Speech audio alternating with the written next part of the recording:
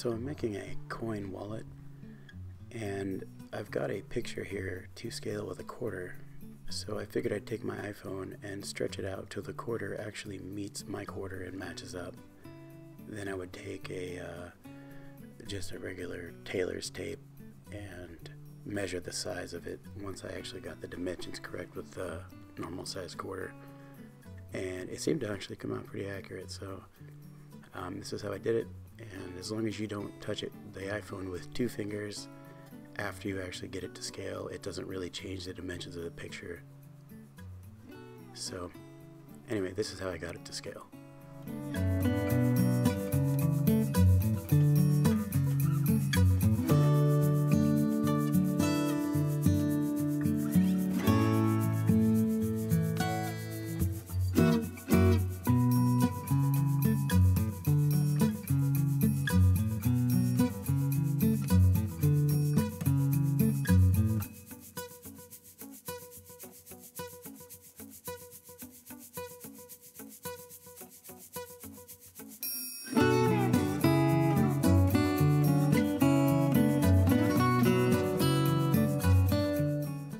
actually cut the dimensions oversized by half of an inch uh, on the main body of the uh, wallet.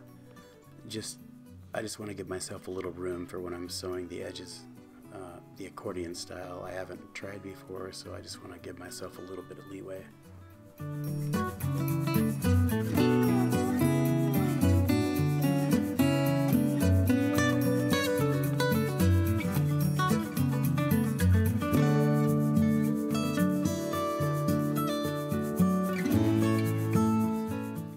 Area here is actually going to be for the card holder on the inside and so I'm going to make this 4 and 7 eighths inches.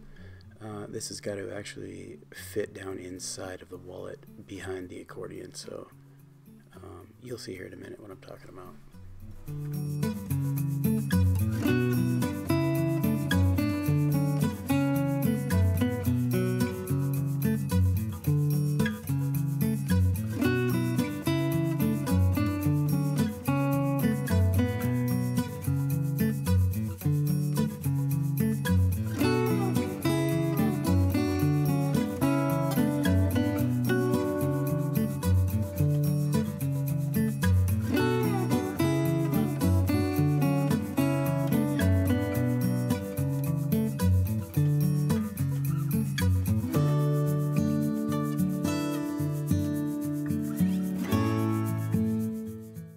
Cut the strips for the cards at 2 inches.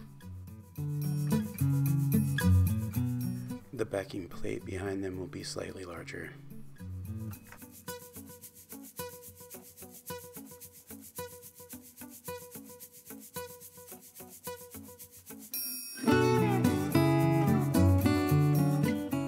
Here I'm figuring out where I want my snaps to be located.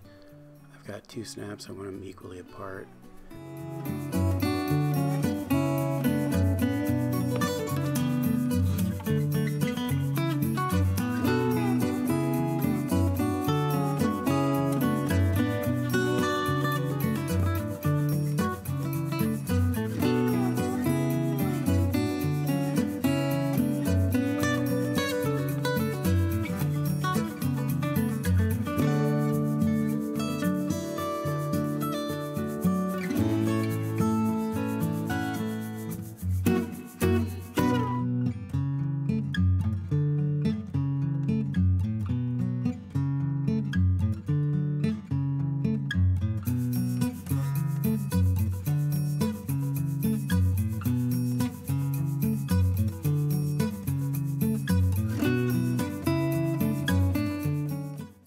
Here I'm gluing up the end pieces.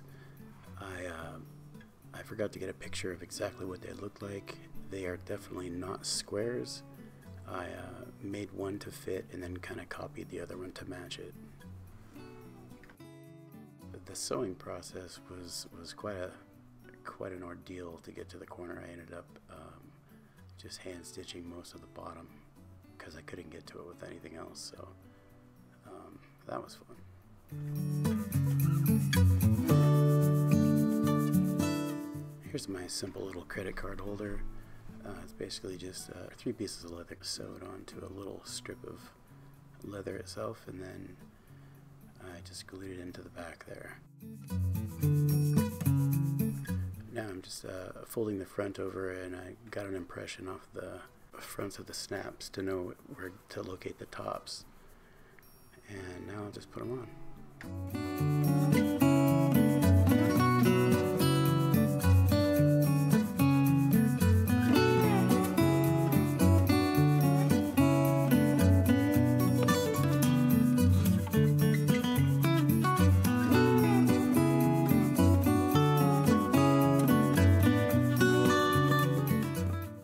It's time to go a little crazy with the edge groover and I'm going to put a pattern on this thing. Why not, right?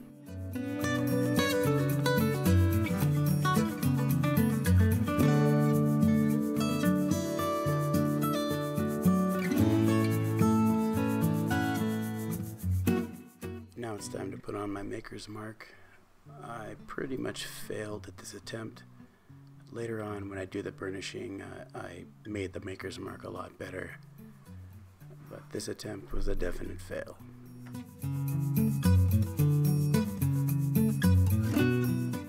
I'm just applying some light Neatsfoot oil right here.